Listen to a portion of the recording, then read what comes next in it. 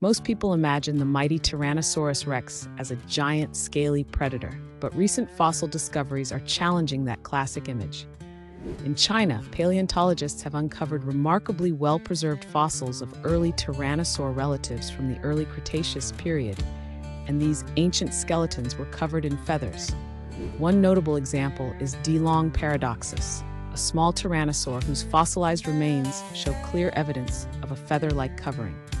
These feathered fossils demonstrate that feathers were present in the Tyrannosaur family tree long before T. rex appeared.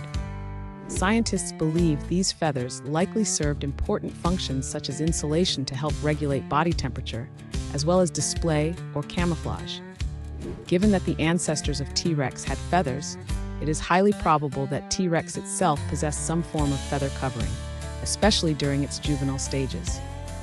While adult T. rex may have lost most of their feathers as they grew larger and developed thick skin, the presence of feathers in their lineage suggests a more complex and fascinating appearance than the traditional scaly reptile image.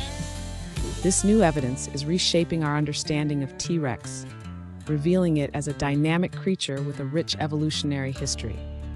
The story of T. rex is being rewritten, one feather at a time. Like and subscribe.